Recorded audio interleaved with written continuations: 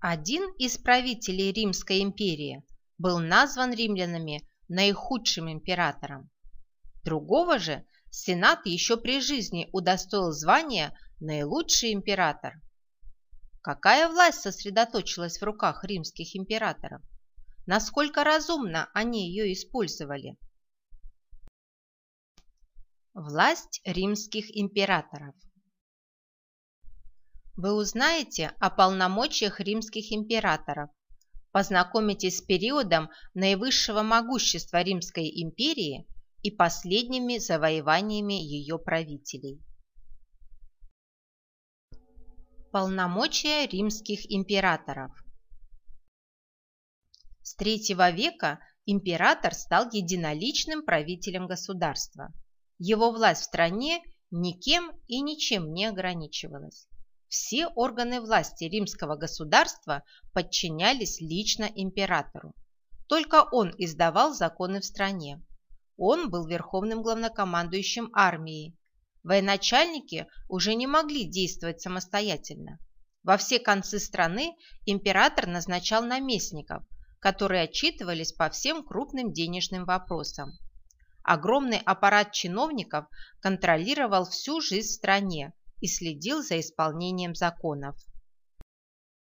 Личность императора была священной и неприкосновенной. Оскорбительное высказывание об императоре считалось тяжким преступлением. На римских монетах стали изображать профиль императора. В каждом городе на центральной площади ставили его скульптурные изображения. Власть императора теперь передавалась по наследству сыновьям или близким родственникам. Но очень часто императоров провозглашали армия, сенат или они захватывали власть в результате гражданских войн. Поставьте видео на паузу и выполните задание. Расцвет Римской империи Создание империи стало важным событием в истории Рима. Население радовалось завершению кровопролитных гражданских войн. Единая постоянная армия эффективно защищала границы империи. Через всю страну в разных направлениях протянулись прекрасные дороги.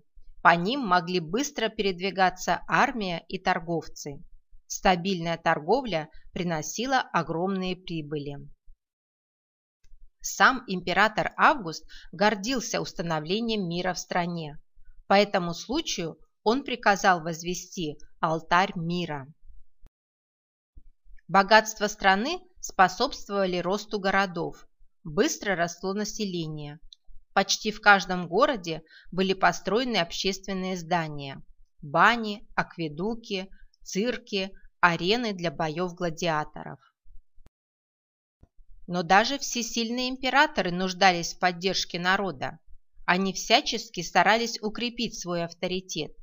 Для этого в их распоряжении были огромные богатства империи. «Хлеба и зрелищ!» звучало на улицах. Императоры регулярно проводили бесплатные раздачи хлеба для бедных, устраивали различные общественные мероприятия. Так императоры Веспасиан и Тит построили Колизей, огромную арену для боев гладиаторов и других общественных зрелищ.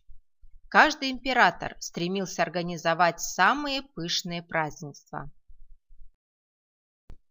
Символом роскоши и неограниченной власти императоров считался дворец императора Нерона – Золотой дом. Такое название он получил из-за огромного позолоченного купола. Золотой дом был сооружен после огромного пожара в Риме. Римляне считали, что Нерон сам поджег город. Они восстали и свергли императора. Поставьте видео на паузу и выполните задание. Завоевание римских императоров При первых императорах значительно расширилась территория государства. Римские легионы установили границу империи в Европе по рекам Дунай и Рейн. На границе была построена система укреплений – Лимес. За Лимесом жили варвары. На долгое время вторжения варваров были остановлены. В Риме до сих пор возвышается колонна в честь побед одного из императоров – Трояна. Колонна была воздвигнута на форуме Трояна в 113 году в честь побед над даками. Колонна выполнена из мрамора, высота 38 метров. Внутри находится винтовая лестница, ведущая к площадке вверху колонны. Вес сооружения около 40 тонн. Ствол колонны 23 раза спирально огибает лента с рельефами, изображающими эпизоды войны Рима с Дакией. На колонне на барельефах изображено около 2500 человек. Они переданы так реалистично, что по ним можно изучать оружие, доспехи, костюмы римлян и даков того времени.